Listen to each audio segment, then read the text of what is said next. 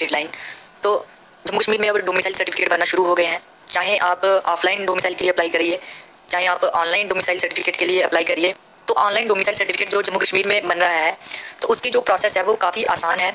तो आज हम वही बताएँगे कि आप कैसे पाँच मिनट में डोमिसाइल के लिए अप्लाई कर सकते हैं।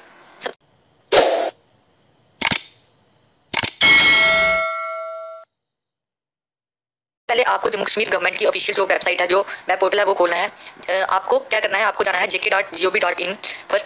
आप देखेंगे आपके सामने कुछ ऐसी स्क्रीन खुलेगी। वहाँ पे जाके आपको खुद को पहले रजिस्टर करवाना है। आप सर्विसेज़ पे क्लिक करके ऑनलाइन पे क्लिक करेंगे। तो आप देखेंगे एक न्यू विंडो खुलेगी। यहाँ पे आपको पहले खुद को रजिस्टर करना है। रजिस्टर करवाने के लिए आप सिटीजन रजिस्ट्रेशन पे क्लिक करेंगे।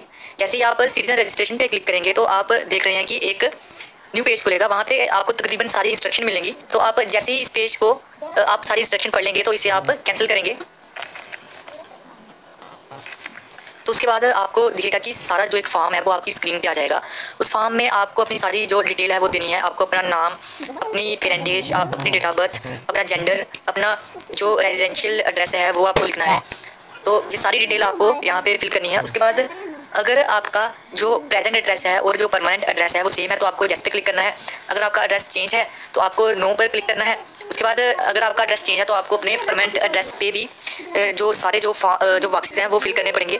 उसके बाद आपको अपनी आगे की एडिशनल डिटेल देनी है, जिसमें आपको अपना मोबाइल नंबर और अपनी जो ईमेल आईडी है, वो फिलअप करनी है। जैसे ही आप अपनी ईमेल आईडी और मोबाइल नंबर फिल करेंगे उसके बाद आपको दिखेगा कि आपको अपनी एक लॉगिन आईडी क्रिएट करनी पड़ेगी जो कि यूज़र नेम जिसे आप बोल सकते हैं। यहाँ पे आपने अपना यूज़र नेम अपनी मर्ज़ी का सिलेक्ट करना है और उसके साथ ही आपको देखना पड़ेगा क्या ये यूज़र नेम अवेलेबल है भी है या नहीं। तो आप यहाँ पे चेक करेंगे कि क्या जी आपको यूज़र नेम मिल सकता है या नहीं। तो उसके बाद आप आगे का सिक्योरिटी क्वेश्चन सेलेक्ट करेंगे। आपको अपनी एक लेटेस्ट फ़ोटो यहाँ पे अपलोड करनी है। उसके बाद जैसे ही आप अपनी फ़ोटो अपलोड करेंगे तो नेक्स्ट में आपको प्रिव्यू पे जाना है। प्रिव्यू पे जाने के बाद आप अपना सारा फॉर्म देख पाएँगे। उसके बाद सबमिट करके आपकी स्क्रीन पे आपका जो, आपकी जो लॉगिन आईडी है और जो पासवर्ड है वो आपको आ जाएगा। आप चाहें तो ये डिटेल कहीं लिख लिख के भी रख सकते हैं और अगर आप चाहें तो इसे प्रिंट करके या फिर इसका पीडीएफ भी सेव कर सकते हैं। तो उसके बाद आपको ये नोट करना है तो वापस आपको वेब पोर्टल पर जाना पड़ेगा जेके dot G O dot in पे और वहाँ पे सर्विसेज़ पे सेलेक्ट करके ऑनलाइन क्लिक करके आपको लॉगिन करना है अपनी यूज़र आईडी और अपने पासवर्ड के साथ।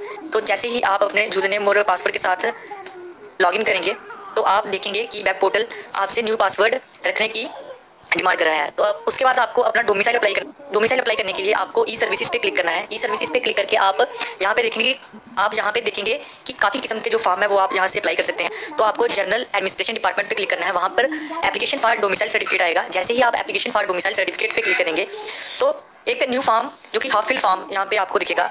उस हाफ़ फिल फॉर्म में आपको अपनी सारी डिटेल डालनी है जैसे अपना मदर नेम डालना है अपना जो एड्रेस में जो बॉक्सेस फिल नहीं होंगे वो सारे बॉक्सेस आपको फिल करने हैं। तो उसके बाद यहाँ पे आपसे पूछेगा कि आप कितने सालों से जम्मू कश्मीर में रह रहे हैं तो यहाँ पे आपको अपनी जो ईयर है कितने सालों से आप जम्मू कश्मीर में रह रहे हैं वो आपको यहाँ पे लिखना है। और फिर यहाँ पे आएगा कि क्या आप आपके पास किसी और राज्य या यूनियन टेरिटरी का डोमिसाइल है वहाँ पे आप, नो लिखेंगे। और अगर आपके पास पीआरसी है जैसे मेरे पास पीआरसी है तो मैं यहाँ पे पीआरसी के तो मैं यहाँ पे पीआरसी पे क्लिक करूँगा। आपको कुछ और करने की ज़रूरत नहीं है। बस आपको अपने पीआरसी की फ़ोटो कापी यहाँ पे स्कैन कापी यहाँ पे अपलोड करनी है। और आपको ध्यान रखना है कि जो अपलोड के लिए जो फ़ाइल होगी वो दो सौ पचास के बी से कम होनी चाहिए। तो यहाँ पे आप अपने जो पीआरसी सर्टिफिकेट की कापी है, यहाँ पे अपलोड करेंगे। उसके बाद यहाँ पे टर्म एंड कंडीशन पे क्लिक करके और प्रीव्यू पे क्लिक करेंगे। प्रीव्यू पे क्लिक करने के बाद आप अपना सारा जो फिल फॉर्म है वो देख पाएँगे। उसके बाद आपको सबमिट पे क्लिक करना है। सबमिट में क्लिक करते ही आपका एक एक रजिस्ट्रेशन नंबर जो कि आपका एप्लीकेशन नंबर है, जो डोमिसाइल के लिए वो आपकी स्क्रीन पे आ जाएगा। देखिए स्क्रीन पे डोमिसाइल सर्टिफिकेट नंबर है, जो कि एप्लीकेशन नंबर है डोमिसाइल का। तो यहाँ पे ये जो फॉर्म है एप्लीकेशन फॉर्म है जो आप प्रिंट करके यहाँ सेव करके अपने पास रख सकते हैं। तो अब आप कभी भी देख सकते हो, आपकी जो एप्लीकेशन जो एप्लीकेशन है, उसका क्या स्टेटस है? जहाँ पे आप अपना डोमिसाइल सर्टिफिकेट पे जो एप्लीकेशन पे डोमिसाइल सर्टिफिकेट पे क्लिक करके देख सकते हैं कि आपकी एक जो एप्लीकेशन है वो डोमिसाइल सर्टिफिकेट की पड़ी हुई है। तो अब आप अगर आपसे कहीं डोमिसाइल सर्टिफिकेट का जो एप्लीकेशन नंबर है वो खो गया है अपने आप, आपने अपना स्टेटस देखना है तो आपको ट्रांजेक्शन पे जाना पड़ेगा। ट्रांजैक्शन पे जनरल एडमिनिस्ट्रेशन डिपार्टमेंट पे फिर एप्लीकेशन फॉर डोमिसाइल सर्टिफिकेट जहाँ पे आपको अपने एप्लीकेशन का जो नंबर है वो मिल जाएगा। इसे आप कॉपी करिए। कॉपी करने के बाद लिखने के बाद आपको आपने चेक करना है अगर कि क्या स्टेटस है जहाँ एप्लीकेशन पे जाके चेक स्टेटस पे जाएँगे। एप्लीकेशन पे जाके चेक स्टेटस पे जाएँगे जहाँ पे अपनी एप्लीकेशन आईडी डालेंगे और सबमिट करेंगे। तो आप देखेंगे कि ये आपका जो एप्लीकेशन स्टेटस है वो आ, आ गया होगा। पंद्रह दिन के अंदर ही डोमिसाइल सर्टिफिकेट आपको ऑनलाइन मोड से ही मिल जाएगा।